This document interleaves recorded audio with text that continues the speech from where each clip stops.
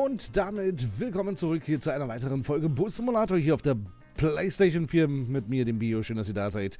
Jo, wir sind heute mal auf der Strecke 17 unterwegs. Wir müssen vom Gewerbepark Richtung Hafen. Das ist eine der nächsten Missionen auf der Strecke 17. So aktuell, also Linie 17.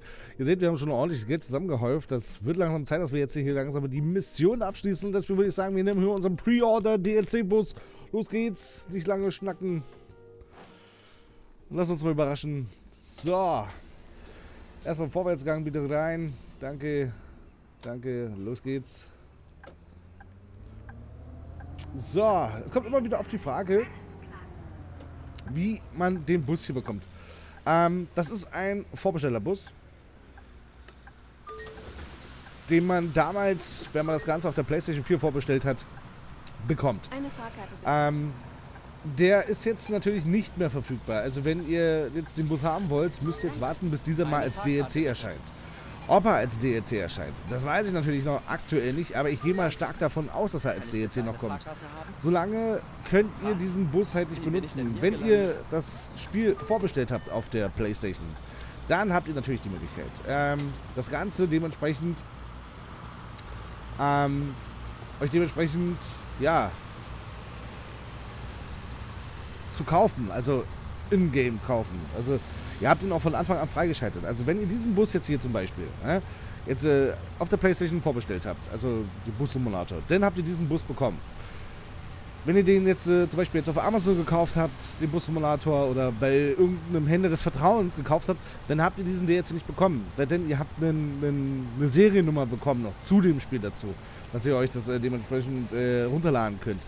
Wenn das halt nicht der Fall ist, ist dieser Bus aktuell für euch nicht verfügbar. Es geht dann erst wieder, wie gesagt, wenn hier zum Beispiel Astragon jetzt sagt, ich möchte den gerne als äh, Pre-Order-Bus kaufen, also äh, als DLC kaufen. Der wird dann wahrscheinlich 2,99 kosten oder sowas. Oder vielleicht ist er dann in dem MAN-Paket mit dabei. Ja, aber so wie er jetzt hier steht, ist es wirklich nur für Leute, die sich den Bus-Simulator dementsprechend äh, vorbestellt haben. Andere Möglichkeit habt ihr leider nicht. Wo hab ich denn... Hier, bitte. Augenblick. Hier bitte. Augenblick. Na klar. Alle eine Fahrkarte, na sowas. Glaube ich euch aufs Wort. Los geht's! Damit äh, nochmal das Ganze nochmal hoffentlich geklärt, weil wie gesagt, die Frage kommt oft. Ich lese das halt immer ähm, in den Kommentaren und äh, beantworte das Ganze. Also, wie gesagt, äh, ihr habt halt dementsprechend halt nicht die Möglichkeit. Ich habe auch irgendwie gelesen, man kann hier, da, da wollte ich auch mal gucken. Wer hört denn jetzt hier? Hallo?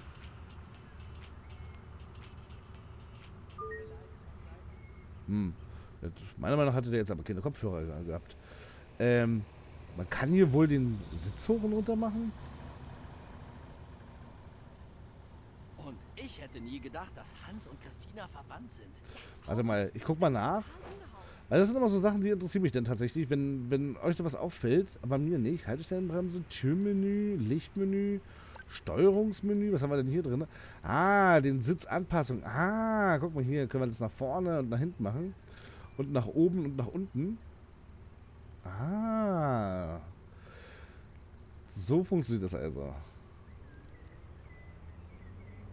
Ja, das muss man mal wissen. Danke für die Info übrigens, aber das, das musste ich jetzt gerade selber mal testen.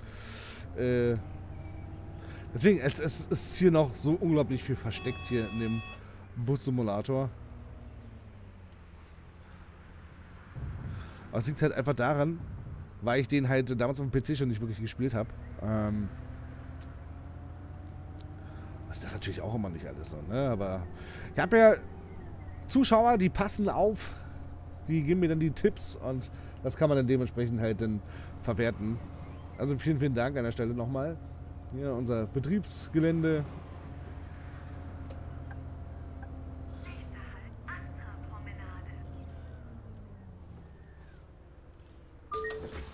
Wir sind schon reichlich spät, weil wir jetzt gerade ein bisschen rumgetestet haben.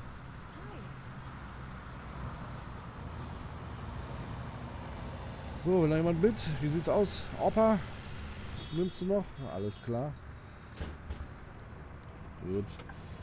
Oh, wo kommen, wo kommen die denn jetzt hier alle her? Das ist unglaublich.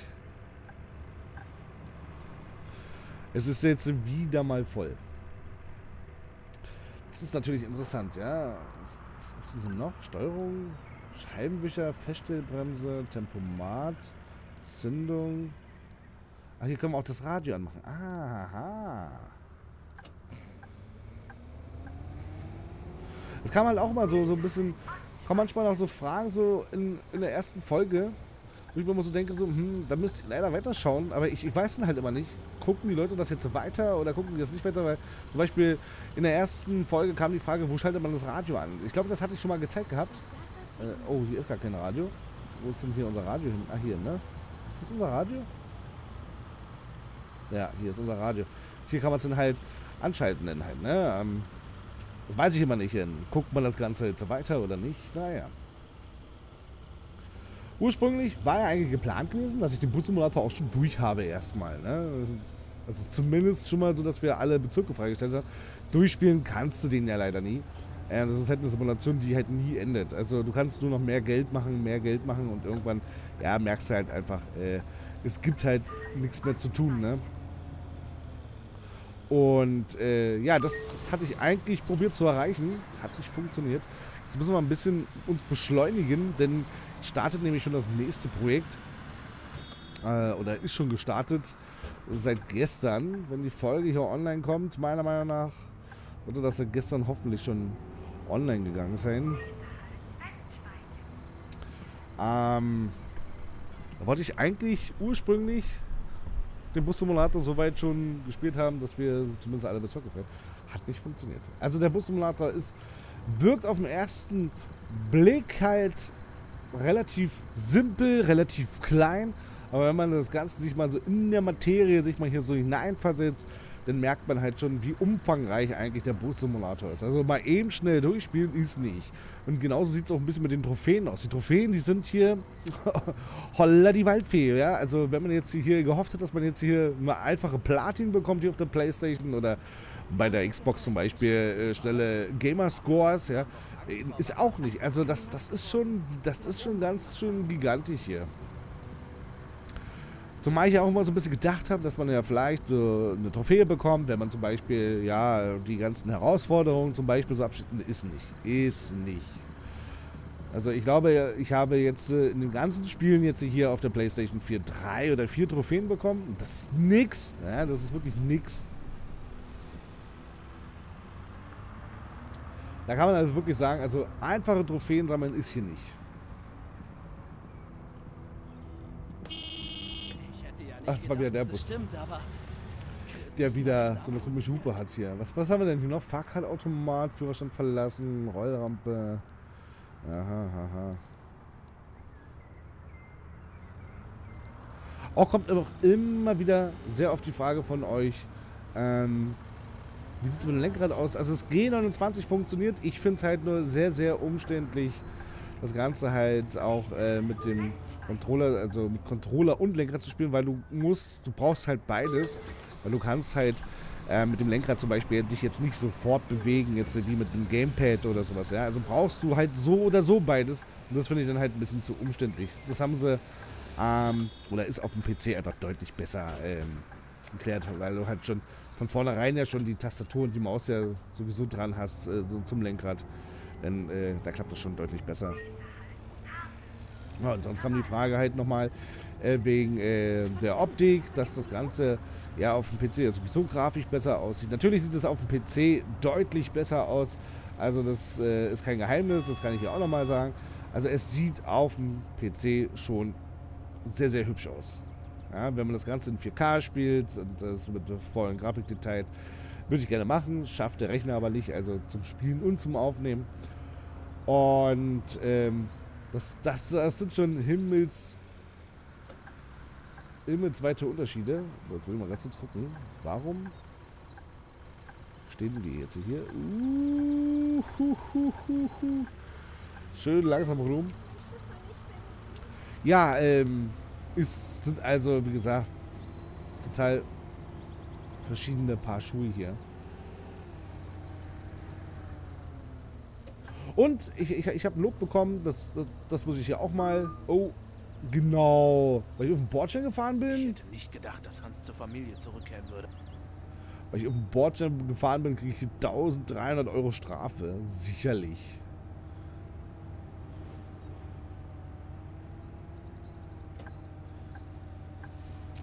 Und äh, wie gesagt, ähm, habe ich auch noch ähm, ein Lob bekommen. Auch da möchte ich mich bedanken. Ähm, da hieß es denn in den Kommentaren, ähm, das ist ein schönes Video geworden und äh, er findet es halt toll, dass ich mich hier an die Verkehrsregeln halte und so. Dass wir hier versuchen ordentlich zu fahren, außer jetzt gerade, mhm, dass wir auf den Bordstein fahren und 1300 Euro Strafe zahlen müssen. Ja, klappt es eigentlich. Also ich versuche mir hier schon wirklich viel Mühe zu geben. Ich bin halt doch so ein kleiner Simulations-Nerd, ja, also gerade was so Bus und Bahn angeht, ja, versuche ich da halt schon ähm, so realistisch wie möglich zu spielen. Weil nur so macht es halt Spaß. Ja, klar, man könnte hier draus jetzt auch ein GTA machen, ja, und äh, nur Schindluder treiben. Aber da, da habe ich gar keinen äh, Sinn für.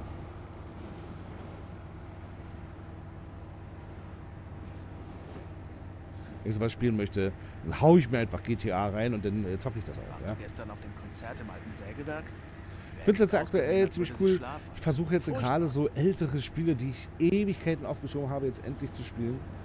Ähm, aber fing jetzt wirklich hier mit Playstation wieder an, weil ich jetzt hier wieder so wieder mehr Konsole spiele. Ähm, sie jetzt hier. Oh, kommt den Berg nicht hoch?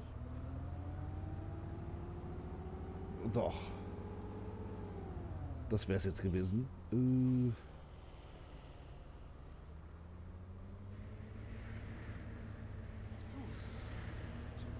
Also schon ein bisschen langsamer fahren, ein bisschen vorsichtiger. Der Bus ist zu lang eigentlich für diese Linie hier. Der Bus allgemein, der ist halt übelst lang, ja. Also das ist schon. Der Gelenkbus, da hast du halt noch ein Gelenk drin, ja. Der, der lenkt dann noch mit, aber der, der ist einfach nur lang. Dadurch, dass die Hinterachsen überhaupt nicht mitlenken.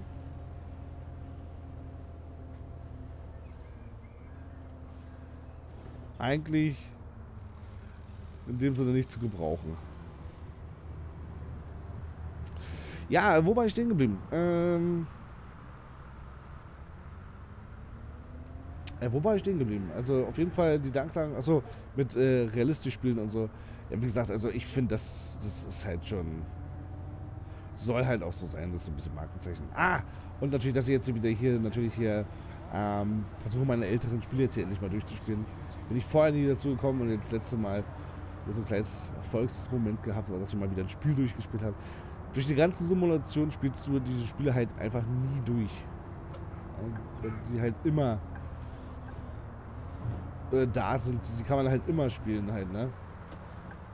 Enden halt nicht so wie zum Beispiel so ein Call of Duty oder sowas.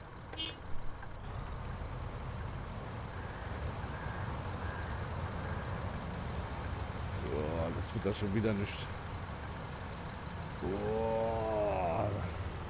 Seht da hinten die Achsen? Die lenken nicht mit. Und das ist eigentlich beim Bus von solcher Länge eigentlich äh, nicht realistisch. Der müsste mitlenken. Bei solcher Länge schon.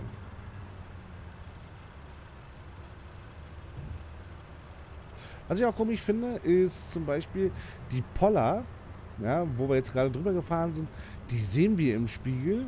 Und die Schlaglöcher sehen wir zum Beispiel nicht in den Spiegeln. Ja, wenn wir jetzt zum Beispiel in den äh, Schlagloch jetzt ausweichen oder sowas, siehst du sie nicht in den Seitenspiegeln.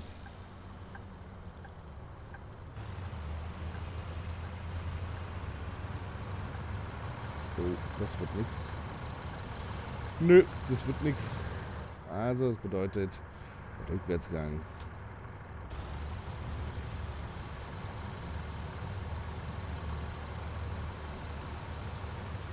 Kann das Wochenende kaum erwarten. So, und D.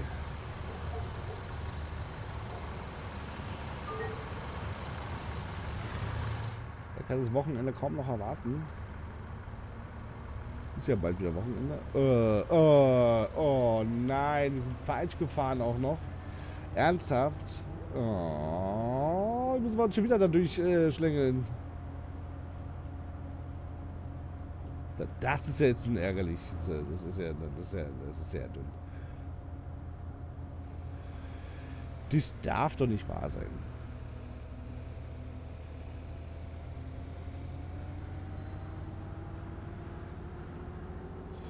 Es ist aber auch echt, warum baut man da so zwei Straßen?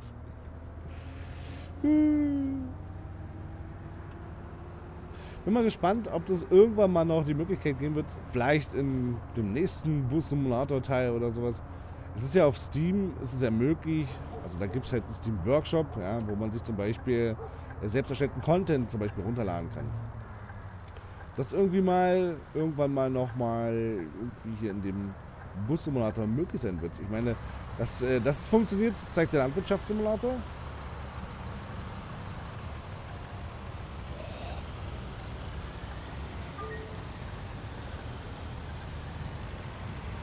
Gesagt, dass es funktioniert, das wie gesagt äh, zeigt der Landwirtschaftssimulator, dass es halt machbar ist. Und mit seinem ähm, Mod-Hub. So könnte das halt auch eigentlich hier in, in Dings funktionieren. Irgendwie eine coole Sache, weil da gibt es halt die Karte Sunny Springs nämlich hier für den Bus-Simulator. Das ist eigentlich eine coole Sache. ne, Das ist so ein bisschen Nostalgie. Für Leute, die zum Beispiel den ersten Teil gespielt haben, haben dann zum Beispiel so einen kleinen Ausschnitt hier von der Karte Sunny Springs, die ja, den Bus-Simulator 16 halt geziert hat.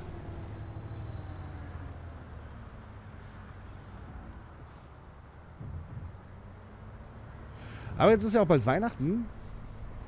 Sowieso die Frage, ähm, ob ihr den jetzt schon mittlerweile spielt oder vielleicht guckt ihr jetzt so das Let's Play oder sagt ihr jetzt zum Beispiel, ihr wünscht euch das Weihnachten. Oh, was ist denn jetzt los? Du hast den Fußgänger angefangen? Was? Wo bin ich denn jetzt?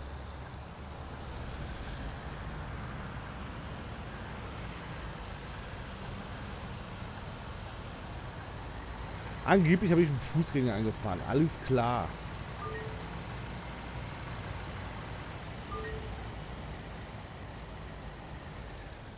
Hey, was machen Sie so? Tja, ich war mal Banker, aber das hat sich nicht mehr aus. Das ist interessant. Also in dieser Folge geht heute alles schief. Ja, ähm, Ich hätte gerne ein paar Fahrkarten. kauft ihr euch das Spiel, wünscht ihr euch das vielleicht eventuell zu Weihnachten oder sowas, denn äh, nutzt da mal die Kommentarfunktion, würde mich mal interessieren. Denn ja, es kann sein, da muss ich mal mit dem Fasus reden. Wir haben nämlich Danke. einen Key bekommen von dem Bus-Simulator. Damals von Astragon. Die haben uns den, den zugeschickt gehabt. Ähm, wo, wo das Spiel dann ja schon zwei Wochen raus war, hat, hat man uns eine Key zugeschickt gehabt, dass wir das Ganze doch ähm, ja, mal vorstellen dürfen und alles was. Ja, es ist aber schon zu spät denn halt. Es ist halt einfach mal zwei Wochen zu spät.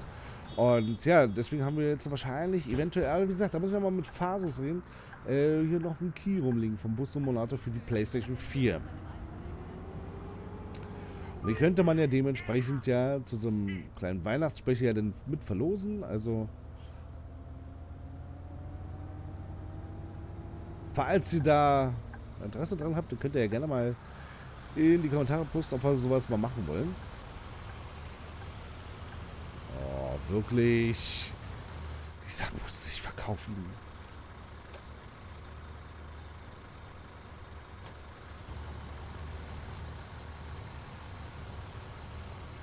Das ist alles nur, weil das Ding falsch programmiert ist hier. Wenn der Bus nämlich mitlenken würde, würde die Achse nämlich sich, wenn wir nach rechts fahren, würden die Achsen sich nämlich so stellen, dass der Bus nämlich so leicht nach links fährt, ne? sodass wir dann halt besser um die Ecken kommen. Und hier fahren wir einfach nur schnurstracks einfach wie so ein Brett praktisch um die Kurven. Ihr müsst euch praktisch vorstellen, ihr habt einen Slalomweg, ja, so, so, so, eine, so eine Hütchen, ähm, wo alle 50 Meter ihr immer ausholen müsst und ihr fahrt mit einer Limousine. Viel Spaß.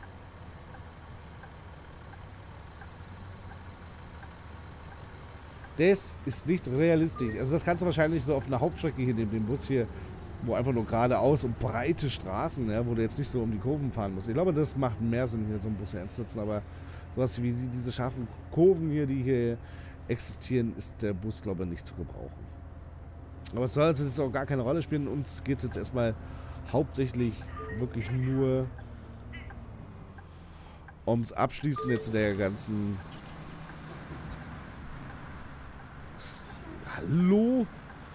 Er kommt hier rein, der ganze Bus fängt an zu wackeln. So, 50 und 14, bitte. Ich brauche einige Fahrkarten, bitte. Woche, Standard.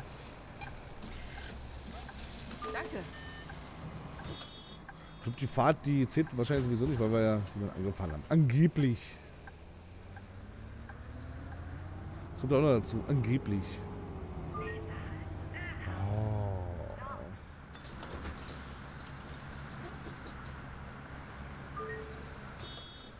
Wundervoll. Danke, dass wir haben. Ja, ja.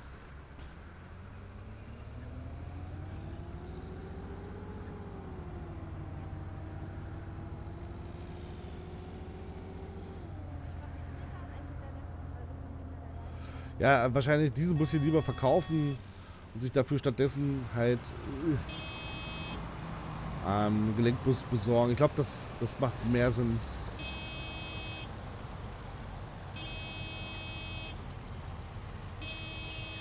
Moment. Oh, wo ist meine Tasche? Ich musste leider hupen, sonst fahren die nie los.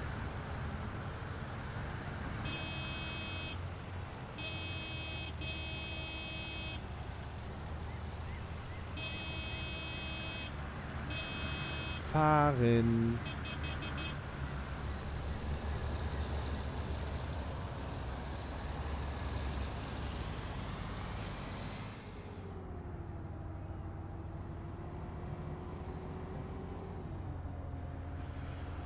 So. Und dann sollten wir es ja langsam mal gepackt haben jetzt hier. Haben wir noch eine Mission und dann hoffe ich mal, dass wir dann endlich mal hier abgeschlossen haben. Das zieht sich halt so extremst, ne? Also das ist schon... Oh, ich das schon wieder sehe, wie wir da fahren müssen, da wird es mir schon wieder römelig. Kann ich bitte eine Fahrkarte haben? So, du möchtest gerne eine Tageskarte Student Brücken, 4,60 Euro. Danke. Ich denke, ich brauche mehrere Fahrkarten, bitte. Wochen Senior, zwei Stück. 2 Danke. Euro.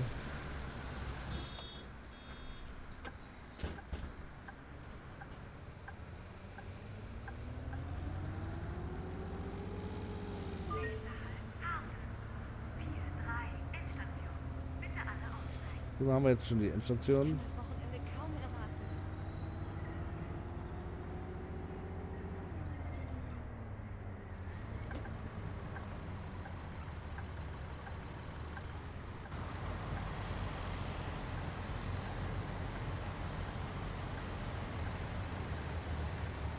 Sieh dir den ganzen Abfall an der Straße an.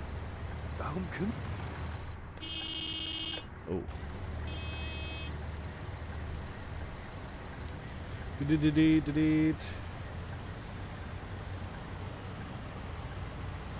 Bin sowieso auch mal gespannt, wann es denn jetzt losgeht dann halt. Oh, also, an. Sagan hat ja gesagt gehabt, dass sie jetzt erstmal fixen wollen, was äh, das Zeug hält, dass der Bussimulator halt rund läuft. Denke mal, also ich rechne mit ja, Anfang, Mitte nächstes Jahr geht's los, denn dass die, die DLCs kommen. Ich habe so einen Hunger. Okay, holen wir uns was zu essen.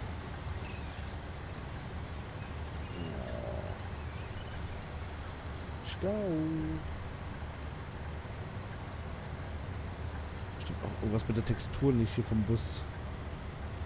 Das? Da haben wir so an den Reifen zum Beispiel Straßenasphalt dran. Ne? Das verschwindet gleich. Das ist mir schon bei dem Auto aufgefallen. Das sind so, so eine kleinen Fehler.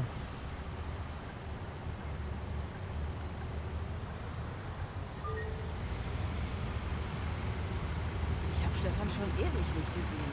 Ist er immer noch krank? Nee, er ist schon wieder krank.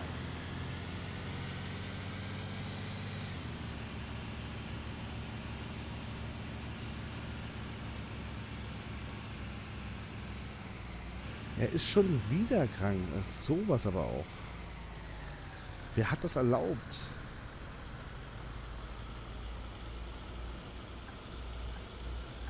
Port Ember.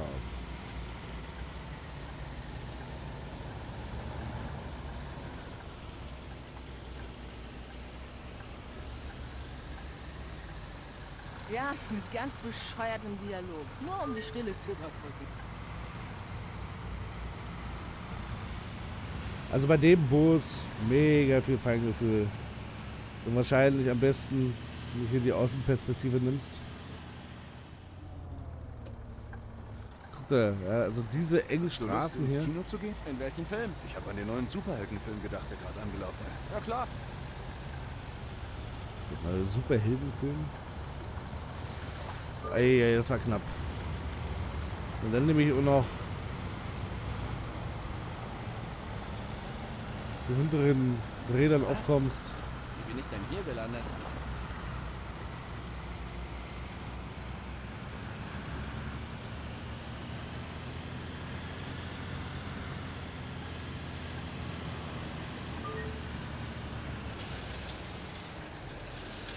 Ja, war leider nicht so gut gewesen, die Fahrt. Durch den Verkehrsunfall, den wir hatten. Und den Passanten, den wir angefahren haben. Ich weiß nicht, ob die Fahrt jetzt so allgemein abgeschlossen wird. So, jemand hinterließ Müll. Na toll. Jemand hinterließ Müll, Müll, Müll, Müll. Aha. Ich glaube kein Müll eingesammelt gerade. Na gut. Beenden wir die Fahrt und dann.